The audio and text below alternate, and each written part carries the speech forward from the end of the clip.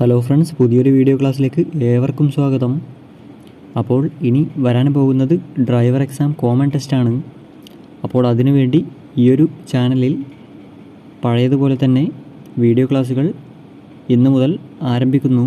Channel ആദ്യമായി കാണുന്നവരുണ്ടെങ്കിൽ ഇപ്പോൾ തന്നെ സബ്സ്ക്രൈബ് ചെയ്യുക തൊട്ടടുത്ത് കാണുന്ന ബെൽ ബട്ടൺ കൂടി പ്രസ് ചെയ്യുക.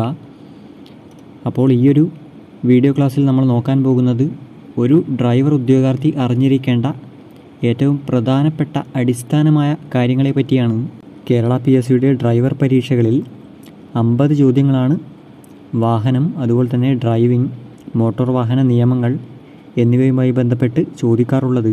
അപ്പോൾ ആദ്യമായി തന്നെ നമുക്ക് ഈയൊരു ഡ്രൈവർ ട്രേഡുമായി ബന്ധപ്പെട്ട ഏറ്റവും അടിസ്ഥാന വിവരങ്ങൾ പഠിച്ചു തുടങ്ങാം. അപ്പോൾ സമയം കളയാതെ നമുക്ക് ക്ലാസ്സിലേക്ക് കിടക്കാം. ആദ്യമായി നമ്മൾ നോക്കുന്നത് എന്താണ് വാഹനം എന്നാണ്. യഥാർത്ഥത്തിൽ വഹിച്ചു കൊണ്ടുപോകുന്ന ഉപകരണം അതായത് യാത്രക്കാരെയോ ചരക്കുകളെയോ വഹിച്ചു കൊണ്ടുപോകുന്ന ഉപകരണത്തെയാണ് വാഹനം എന്ന് പറയുന്നത്. ലോകത്ത് ആദ്യമായി ഒരു ഓട്ടോമൊബൈൽ വാഹനം നിർമ്മിച്ചത് നിക്കോളാസ് കുഗ്നട്ടാണ്. ഇത് പി എസ് സി ചോദിക്കാറുണ്ട്. വാഹനങ്ങളെ പൊതുവെ രണ്ടായാണ് തരംതിരിക്കാറുള്ളത്.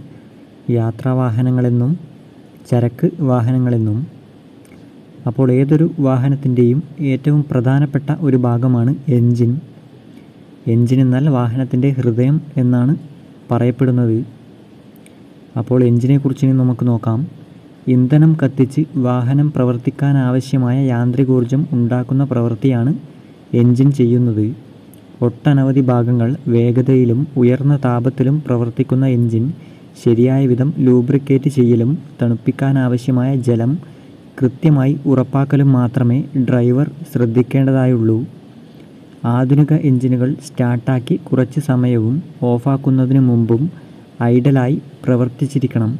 ആക്സിലേറ്റർ ശ്രദ്ധയോടെ ഉപയോഗിച്ച് ഇന്ധനം ലാഭിക്കാനും ഡ്രൈവർക്ക് സാധിക്കും. എഞ്ചിനുമായി ബന്ധപ്പെട്ട് പി എസ് സി ഏറ്റവും പ്രധാനപ്പെട്ട കുറച്ച് ചോദ്യങ്ങൾ ചോദിക്കാറുണ്ട്. അത് ഏതൊക്കെയാണെന്ന് നോക്കാം.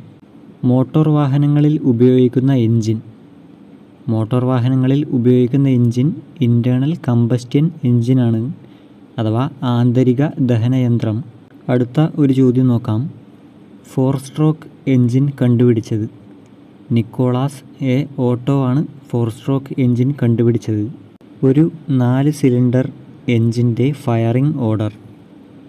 ഒന്ന് മൂന്ന് നാല് രണ്ട് എന്നതാണ് ഒരു ഫോർ സിലിണ്ടർ എൻജിന്റെ ഫയറിംഗ് ഓർഡർ.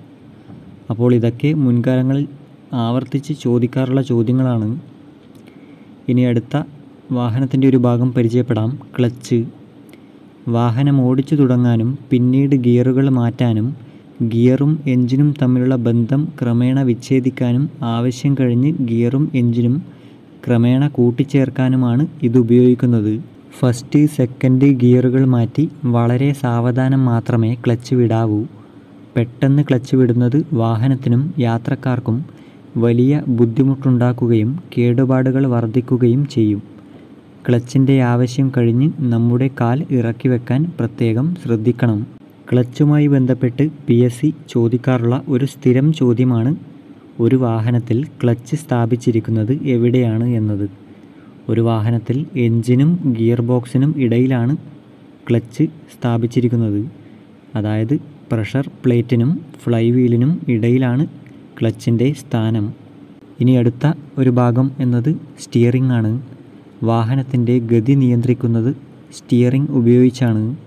സ്റ്റിയറിംഗ് വീലും ഗിയർ ബോക്സും കുറേ ലിങ്കുകളും വീലുകളും ചേർന്നതാണ് സ്റ്റിയറിംഗ് സിസ്റ്റം. സുരക്ഷ ഉറപ്പാക്കാൻ സ്റ്റിയറിംഗ് സിസ്റ്റം ശരിയായി പരിചരിക്കുകയും ടയറുകൾ നല്ല കണ്ടീഷനിലും കാറ്റ് ശരിയായ മർദ്ദത്തിലുമായിരിക്കണം. സ്റ്റിയറിങ്ങുമായി ബന്ധപ്പെട്ട് പി എസ് സി ചോദിക്കാറുള്ള പ്രധാന ചോദ്യങ്ങൾ നോക്കാം. സ്റ്റിയറിങ്ങിൽ ഉപയോഗിക്കുന്ന സിദ്ധാന്തം. അക്കർമാൻ സിദ്ധാന്തമാണ് സ്റ്റിയറിംഗിൽ ഉപയോഗിക്കുന്ന സിദ്ധാന്തം. അതുപോലെ തന്നെ പവർ സ്റ്റിയറിംഗ് പ്രവർത്തിക്കുന്നത് ഹൈഡ്രോളിക് സിസ്റ്റത്തിലാണ്. പവർ സ്റ്റിയറിങ്ങിന്റെ പ്രവർത്തനം ഹൈഡ്രോളിക് സിസ്റ്റത്തിലാണ്. ഇനി അടുത്ത ഒരു ഭാഗം നോക്കാം ഗിയർ. മോട്ടോർ വാഹനത്തിന് ഓടുന്ന സമയത്ത് വ്യത്യസ്ത അളവിൽ ടോർക്ക് ആവശ്യമായി വരും.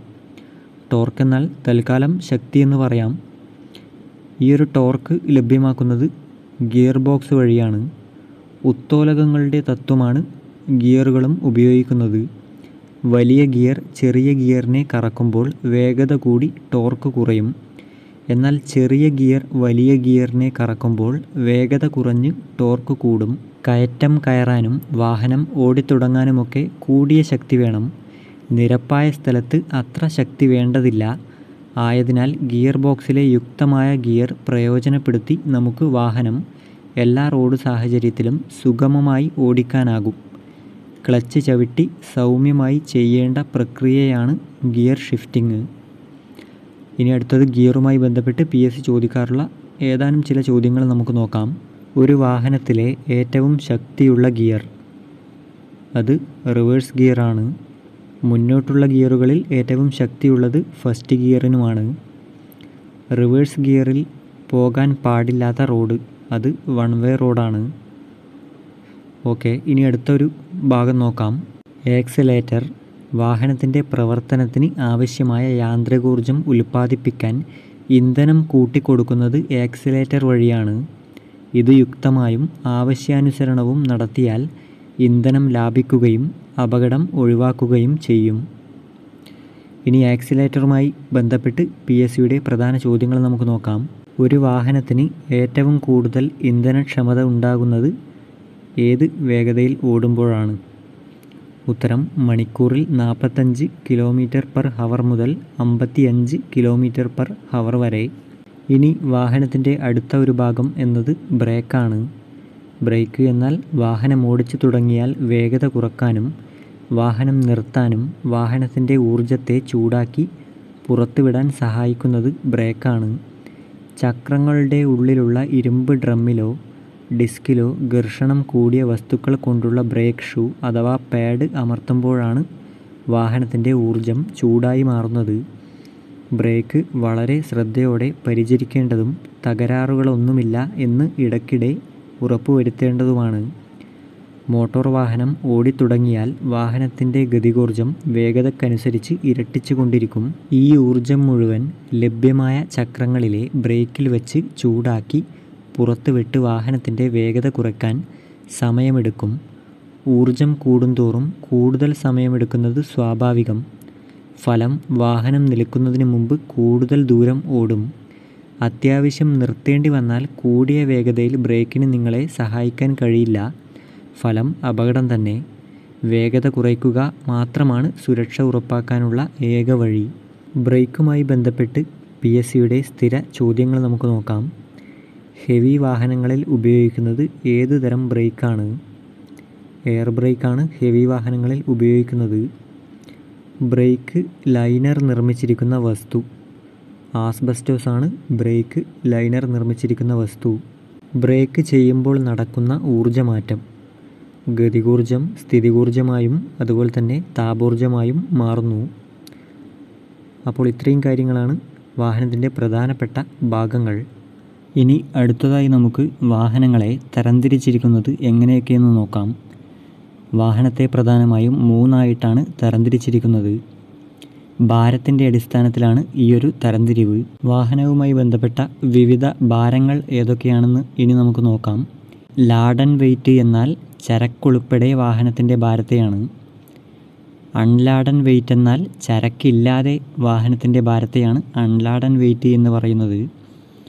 ഗ്രോസ് വെഹിക്കിൾ വെയിറ്റ് എന്നാൽ വാഹനത്തിന്റെയും സഞ്ചരിക്കുന്ന ആളുകളുടെയും മൊത്തം ഭാരത്തെയാണ് ഗ്രോസ് വെഹിക്കിൾ വെയിറ്റ് എന്ന് പറയുന്നത്. ഈ ഒരു ഭാരത്തിന്റെ അടിസ്ഥാനത്തിൽ വാഹനങ്ങളെ പ്രധാനമായും മൂന്നായാണ് തരംതിരിക്കുന്നത്. ലൈറ്റ് മോട്ടോർ വാഹനങ്ങൾ മീഡിയം മോട്ടോർ വാഹനങ്ങൾ ഹെവി മോട്ടോർ വാഹനങ്ങൾ എന്നിവയാണ് ആ മൂന്ന് തരം. ലൈറ്റ് മോട്ടോർ വാഹനങ്ങൾ എന്നാൽ ഗ്രോസ് വെഹിക്കിൾ വെയിറ്റ് ഏഴായിരത്തി അഞ്ഞൂറ് കിലോഗ്രാം വരെ ഭാരമുള്ള വാഹനങ്ങളാണ് ഈ ലൈറ്റ് മോട്ടോർ വാഹനങ്ങൾ. ലൈറ്റ് മോട്ടോർ വാഹനങ്ങളെ പ്രധാനമായും രണ്ടായി തരംതിരിക്കുന്നുണ്ട്. ലൈറ്റ് പാസഞ്ചർ വാഹനങ്ങൾ എന്നും ലൈറ്റ് ഗുഡ്സ് വാഹനങ്ങൾ എന്നും തരംതിരിക്കുന്നു. അടുത്തതായി തരംതിരിക്കുന്നത് മീഡിയം മോട്ടോർ വാഹനങ്ങൾ എന്നാണ്. ഏഴായിരത്തി അഞ്ഞൂറ് കിലോഗ്രാമിനും പന്ത്രണ്ടായിരം കിലോഗ്രാമിനും ഇടയിൽ ഭാരം വരുന്ന വാഹനങ്ങളാണ് മീഡിയം മോട്ടോർ വാഹനങ്ങൾ. മീഡിയം മോട്ടോർ വാഹനങ്ങളെ പ്രധാനമായും രണ്ടായി തരംതിരിക്കുന്നു. മീഡിയം പാസഞ്ചർ വാഹനങ്ങൾ എന്നും മീഡിയം ഗുഡ്സ് വാഹനങ്ങൾ എന്നും തരംതിരിക്കുന്നു. ഇനി അടുത്തതായി തരംതിരിക്കുന്നത് ഹെവി മോട്ടോർ വാഹനങ്ങൾ എന്നാണ്. ഹെവി മോട്ടോർ വാഹനങ്ങൾ എന്നാൽ പന്ത്രണ്ടായിരം കിലോഗ്രാമിന് മുകളിലേക്ക് ഭാരം വരുന്ന വാഹനങ്ങളാണ് ഹെവി മോട്ടോർ വാഹനങ്ങൾ. ഹെവി മോട്ടോർ വാഹനങ്ങളെയും രണ്ടായി തരംതിരിക്കുന്നു. ഹെവി പാസഞ്ചർ വാഹനങ്ങളെന്നും ഹെവി ഗുഡ്സ് വാഹനങ്ങളെന്നുമാണ് ഈ രണ്ടായുള്ള തരംതിരിവ്. ഒരു ഹെവി ഡ്യൂട്ടി ലൈസൻസ് എടുത്ത വ്യക്തിക്ക് ഈ ഒരു മീഡിയം മോട്ടോർ വാഹനങ്ങൾ അതായത് മീഡിയം പാസഞ്ചർ വാഹനങ്ങളായാലും മീഡിയം ഗുഡ്സ് വാഹനങ്ങളായാലും ഓടിക്കാവുന്നതാണ്. മീഡിയം ഹെവി മോട്ടോർ വാഹനങ്ങൾ ഓടിക്കുന്നതിന് ബാഡ്ജ് നിർബന്ധമാണ്. എന്നാൽ ലൈറ്റ് മോട്ടോർ വാഹനങ്ങൾ ഓടിക്കുന്നതിന് നിലവിൽ ബാഡ്ജ് ആവശ്യമില്ല. ഈയൊരു ഭാരപരിധിയൊക്കെ പി എസ് സി നിരവധി തവണ ചോദിച്ചിട്ടുണ്ട്. അതുകൊണ്ട് ഇതൊക്കെ നിർബന്ധമായും പഠിച്ചിരിക്കേണ്ട കാര്യങ്ങളാണ്. അതുപോലെ തന്നെ ഈയൊരു ഹെവി മോട്ടോർ വാഹനത്തിന്റെ വിഭാഗത്തിൽ പെടുന്ന മറ്റൊരു വിഭാഗമാണ് ടോറസ് വാഹനങ്ങൾ. ടോറസ് വാഹനങ്ങളുടെ ജി വി ഡബ്ല്യുവും പി എസ് സി ചോദിക്കാറുണ്ട്. ഇരുപത്തി അയ്യായിരം കിലോഗ്രാമിന് മുകളിലാണ് ടോറസ് വാഹനങ്ങളുടെ ജി വി ഡബ്ല്യു അപ്പോൾ ഈ ഒരു ക്ലാസ് നിങ്ങൾക്ക് മനസ്സിലായെന്ന് വിചാരിക്കുന്നു. വരും ദിവസങ്ങളിലായി കൂടുതൽ വീഡിയോ ക്ലാസ്സുകൾ അപ്ലോഡ് ചെയ്യുന്നതാണ്.